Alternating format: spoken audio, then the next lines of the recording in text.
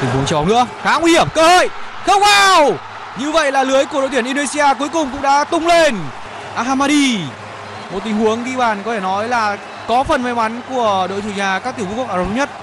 Nhưng đó là phần thưởng xứng đáng. Sau thì cuối cùng đội tuyển UE cũng đã tìm được đường vào khung thành của đội tuyển Indonesia. Không hề có lỗi vị. Quả treo bóng cực kỳ khó chịu. Đó tưởng chừng như là một pha bàn đã khiến cho đội tuyển Indonesia phải trả giá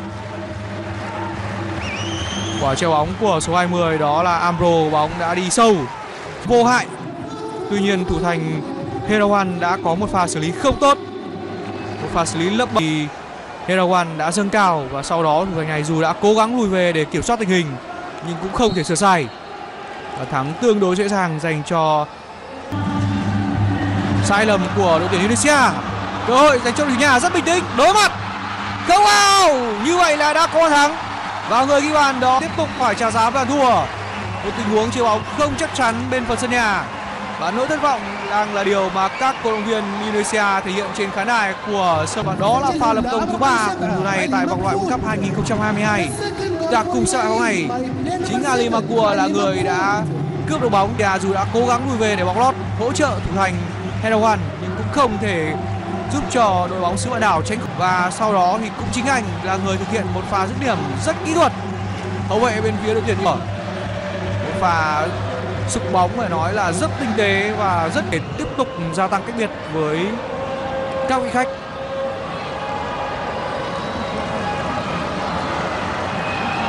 Đứng trước bóng lúc này.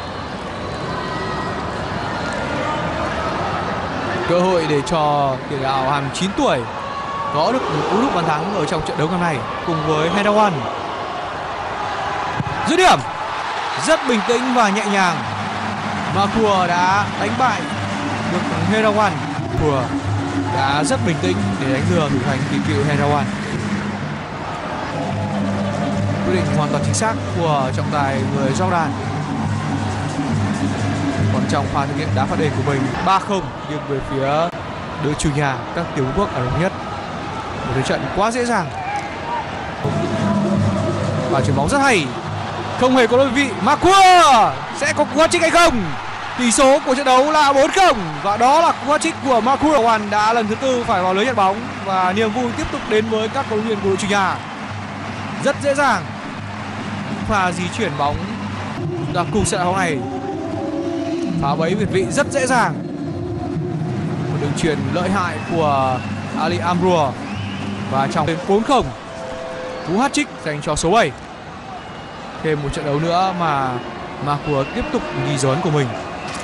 Sau cú bàn thắng giúp đó thì Ali Ahmed Makua đã không bỏ lỡ thời cơ để nâng tỷ số ở lượt đấu thứ hai. Thì tới lượt đấu thứ ba này, trong khuôn khổ vòng loại World Cup 2022 của châu Á, Ali Makua tiếp tục ghi dấu ấn. với